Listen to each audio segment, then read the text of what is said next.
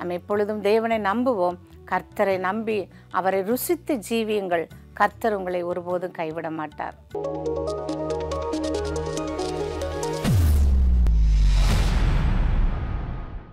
எனக்கு அன்பானவர்களே இந்த நாளிலே வேதத்திலே சங்கீதம் முப்பத்தி நாலு எட்டாவது வசனம் இப்படியாய் சொல்லப்பட்டிருக்கிறது. கர்த்தர் நல்லவர் என்பதை ருசித்து பாருங்கள். அவர் மேல் நம்பிக்கையாய் இருக்கிற மனுஷன் பாக்கியவான். கர்த்தர் மேலே நம்பிக்கையாக இருக்கிற மனுஷன் பாக்கியவான். அது நிச்சயமாகவே என்னுடைய வாழ்க்கையில் நான் அநேக ஆசீர்வாதங்களை கர்த்தரை நம்பினதுனால நான் பெற்றிருக்கிறேன். அதனால நானே ஒரு உயிருள்ள சாட்சியாக இந்த இடத்துல நான் உங்கள் மத்தியில் இருக்கிறேன். மனிதர்கள் அநேகர் நல்லவர்கள் என்று சொல்லுறோம். ஆனால் எல்லாருமே நல்லவங்கன்னு சொல்லவே முடியாது. தேவன் ஒருவரை தவிர ஒரு மனுஷனுடைய வாழ்க்கையில் நல்லவராக இருக்கவே முடியாது. எல்லா மனுஷரையும் நம்பினா நம்ம வீணாக போயிடுவோம் நம்ம வேதத்தில் வாசிக்கிறோம் அவர் நன்மை செய்கிறவரார் சுற்றி திரிந்தார் என்று சொல்லி. நான் இதுக்கு முந்தி போன வாரத்தில் பேசுனது கூட அவர் எல்லா இடங்களிலும் ஆடு மேடுகளில் சுற்றி திரிந்த அநேக மக்களுக்கு நன்மையை செய்தார். அதே போல ஆண்டவராகி இயேசுவே நல்லவர். எப்படி ஆண்டவரை நல்லவர் நம்ம சொல்ல முடியும்? மனுஷர் ஒரு நாளும் நமக்கு நன்மை செய்வாங்கன்னு நம்ம யோசிக்கவே முடியாது. ஆனால் கர்த்தரை நம்பி அவரை நேசித்து அவரை நம்ம ருசித்து பார்க்கும் பொழுது தான் கர்த்தர் எப்படிப்பட்டவர் நல்லவர் என்பதை நம்ம ருசிக்க முடியும். எனக்கு அன்பானவர்களே மனுஷர்களிடத்தில் நம்ம பழகும்போது ஒரு சில மனுஷர் நல்லவர்களாக இருப்பார்கள். ஆனால் மனுஷனுடைய வாழ்க்கையில் மாறுபட்டதாக இருக்கும். ஆனால் தேவனுடைய வாழ்க்கையில் ஒரு நாள் மாறுபட்ட குணங்கள் இருக்கவே இருக்காது. அவர் எப்பொழுதும் நல்லவராகவே இருப்பார். நன்மை செய்கிறவராக இருப்பார் நம்ம வாழ்க்கையில் என்ன நெருக்கடி வந்தாலும் என்ன கஷ்டம் வந்தாலும் என்ன பாடுகள் வந்தாலும் ஆண்டவராகிய தேவனை நம்ம நம்பி அவரை ருசித்து பார்க்கும் பொழுது அவர் நல்லவராக இருக்கிறார் ஒரு பழத்தை நம்ம சாப்பிட்டா தான் அது புளிக்குதான் இனிக்குதான்னு தெரியும். ஆனால் கர்த்தரை நம்ம நேசிக்கும் பொழுது அவர் எவ்வளவு நல்லவராக இருக்கிறார் என்பதை நம்ம கண்டு கொள்ளலாம். சின்ன சின்ன விஷயங்களில் கூட கர்த்தர் நமக்கு நல்லவராகவே இருக்கிறார். அவர் நன்மை செய்கிறவராக இருக்கிறார். அவர் மீது நம்ம நம்பிக்கை வைக்கணும். அவர் மீது நம்ம நம்பிக்கை வைக்கும்போது அவர் நிச்சயமாய் அவர் நம்மை கைவிட மாட்டார். கர்த்தராகி தேவன் அவர் நமக்கு செய்கிற ஒவ்வொரு நன்மைகளையும் நம்ம மறவாமல் அவருக்கு நன்றி உள்ளவர்களாக இருக்கும் பொழுது ஆண்டவர் எப்பொழுதும் நமக்கு நன்மை செய்கிறவராக இருக்கிறார். மனிதர்களை நம்புவது வீண்.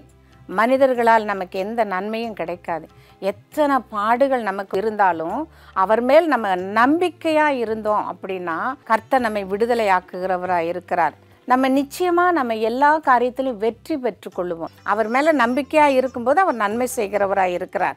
அவர் நமக்கு நன்மை செய்து நம்ம எல்லா இக்கட்டிலும் எல்லா காரியத்திலும் நம்மை தூக்கி நிறுத்தி எல்லா விதமான ஆசீர்வாதங்களையும் தந்து நம்மை குடும்பத்திலும் சரி நம்முடைய பிள்ளைகளுடைய வாழ்க்கையிலும் சரி நம்முடைய வாழ்க்கையிலும் சரி அநேக நன்மைகளை பெற்று நம்ம மற்றவர்களுக்கு மத்தியில் நம்ம சாட்சியாக நிற்போம். அது மாத்திரமல்ல தேவன் நம்மை ஆசீர்வதிப்பார். நாம் பாக்கியவான்களாக இருப்போம். தேவனை ருசித்து பார்த்து அவருடைய நன்மைகளையும் ஆசீர்வாதத்தையும் பெற்றுக்கொள்வதோடு கூட அவருக்குள் இருக்கும் பொழுது நம்ம எல்லா விதத்திலும் ஆசீர்வதிக்கப்படுவோம். நம்ம ஆசீர்வாதமாக இருப்போம். அநேகருக்கு ஆசீர்வாதமாக இருப்போம். நமக்கு மாத்திரமல்ல நம்ம கர்த்தரை நம்பி அவரை ருசித்து பார்த்து கர்த்தரை நம்பி நம்ம ஜீவிக்கும் பொழுது நம்ம அநேகருக்கு ஆசீர்வாதமாக இருப்போம். அநேகருக்கு நம்ம பிரயோஜனம் உள்ளவர்களாக இருப்போம். நம்ம எப்பொழுதும் தேவனை நம்புவோம். கர்த்தரை நம்பி அவரை ருசித்து ஜீவியுங்கள்.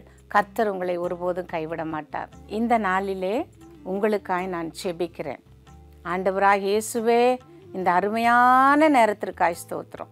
அப்பா உம்மை நாங்கள் ருசித்து பார்க்கணும். உம்மை நேசிக்கணும். உம்மை நம்பணும்ப்பா. தேவனே உம்மை விசுவாசித்தவர்கள் ஒருபோதும் கெட்டு போனதில்லை உம்மை நம்பினவர்கள் ஒருபோதும் கெட்டு போனதில்லப்பா மனம் இறங்கும். மனுஷனை நம்புவதை காட்டிலும் கத்தர் பேரில் பற்றுதலாக இருப்பதை நலம் என்று வேதம் சொல்லுகிறது. என் அருமையான மக்கள் உம்மை நேசித்து உம்மேல் பற்றுதலாக இருந்து அவர்கள் நன்மையான காரியத்தை பெற்றுக்கொள்ள என் தேவன் கிருபை செய்ய வேண்டும் என்று செபிக்கிறேன். எந்தெந்த வீடுகளில் நன்மைகள் நடக்கணும் எந்தெந்த வாழ்க்கையில் ஆசீர்வாதங்கள் நடக்கணும் யார் யாருக்கு உம்முடைய அன்பும் ஆசீர்வாதமும் போகணும் அவர்கள் உம்மை கண்டுகொள்ளணும் என்று சொல்லி நீர் நினைக்கிறீரோ அத்தனை மக்களையும் உம்மை தேடுகிற மக்களை நீர் கைவிடாதபடிக்கு அவர்களை நேசித்து அவர்களை வழிநடத்தும் அவர்களை ஆசீர்வதியும். இயேசுவின் நாமத்தில் உம்மை தேடுகிற ஒவ்வொரு மக்களும் நன்மை பெற்றவர்களாய் ஜீவிக்க என் தேவன் கிருபை செய்யவே வேண்டும் என்று இயேசுவின் நாமத்தில் ஜெபிக்கிறேன் நல்ல பிதாவே. ஆமேன்.